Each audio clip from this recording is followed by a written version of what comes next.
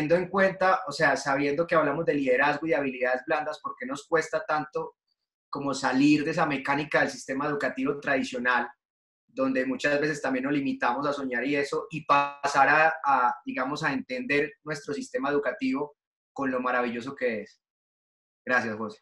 Vale, pues, pues es por eso, porque somos seres humanos. Recuerden, hay un gran, hay una, una historia bien linda que es conocidísima, que creo que era una, una, me encantó muchísimo, eso lo leí hace mucho, mucho tiempo, más de 20 años, de una, una filósofa americana que se llama Karen Heath, que hizo un, un, como un experimento con un pez que se llamaba el lucio del norte y Ah, que es muy voraz y se come los peces chiquititos. Se come los peces, todos los más pequeños que él se los traga. Entonces, eh, en un acuario, dividieron el acuario por la mitad, pusieron el lucio en esta parte y le eh, pusieron un vidrio, un vidrio transparente en la mitad. En el otro lado colocaron los peces pequeñitos y el lucio empezó a chocarse con el vidrio, a chocarse, a chocarse, a chocarse, a chocarse, tratando de comerse los peces que habían en el otro lado. Y, se hirió la boca, se toteó la cabeza de darle y de darle hasta que dio la vuelta y dijo, no, no lo insisto más, no se puede y no, bueno, ahí se quedó.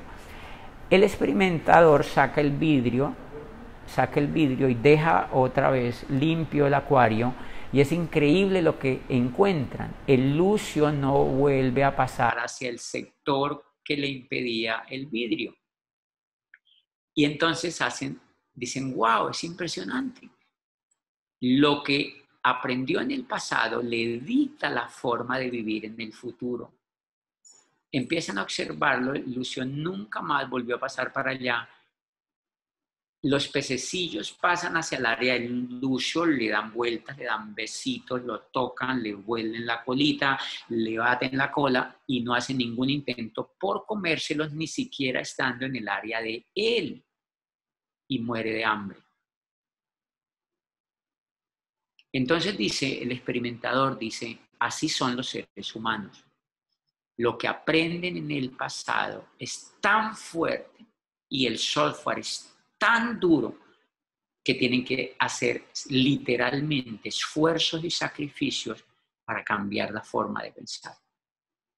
Y por eso es que nos esclavizan. Por eso es que nos esclavizaron. Por eso es que las religiones nos han mentido. Porque una vez le mientan a los niños, les mienten durante toda la vida. ¿Cuántos dioses falsos han habido a través de la historia? Con eso han manipulado comunidades enteras y los han llevado a la hecatombe y a la guerra los políticos a través de los dioses. Y eran falsos esos dioses, porque le sembraron a los niños ese software. Número dos, la esclavitud a los esclavos les hacían creer que ellos no eran seres humanos, que ellos no eran dignos de ir a, a donde Dios y por eso tenían que servirle al Señor feudal por eso eran esclavos. Ellos no eran seres humanos y les habían, la iglesia les hacía creer que ellos no eran seres humanos, desde el púlpito también. Ellos no podían leer, no sabían leer y ellos creían eso. Por eso la esclavitud duró tanto tiempo. Si ustedes observan, a nosotros nos han hecho creer que nosotros tenemos que vivir con el sistema monetario actual, por ejemplo, que es necesario el dólar, que es importante pagarle al banco e ir a misa.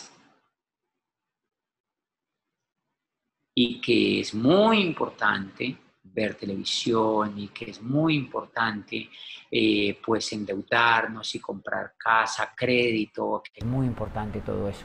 Y que es muy importante ir a la escuela, le han hecho creer a los niños, los papás irresponsables que es muy importante ir a la escuela, les han dicho.